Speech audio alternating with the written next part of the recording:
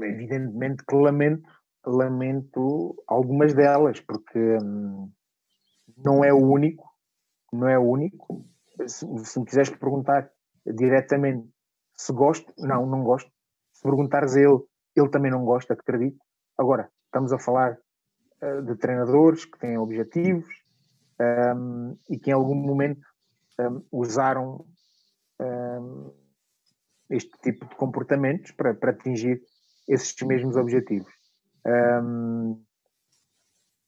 eu posso até dizer que deveria, deveria ser um pacto, um pacto da Primeira Liga, de todas as equipas, isso, isso, seria valorizar o nosso campeonato, eliminar estes comportamentos, eliminar estes comportamentos. Agora, atenção, o que eu estou a fazer não é uma crítica, não é uma crítica.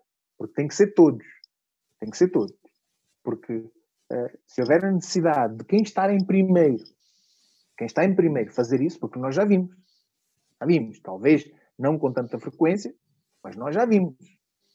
Os ditos grandes, na necessidade, o guarda-redes cair no chão, a bola sair, a garrafa d'água caiu, etc. por aí fora.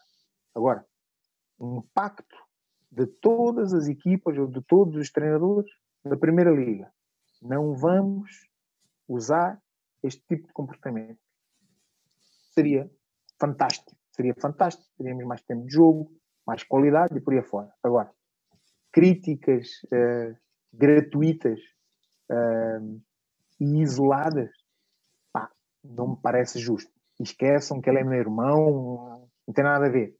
Porque, como eu disse, eu já vi clubes de maior dimensão, campeões, fazerem o mesmo. Não tantas vezes, mas fazerem o mesmo em algum momento porque precisavam. E, portanto, se uns fazem, porque que outros não podem fazer?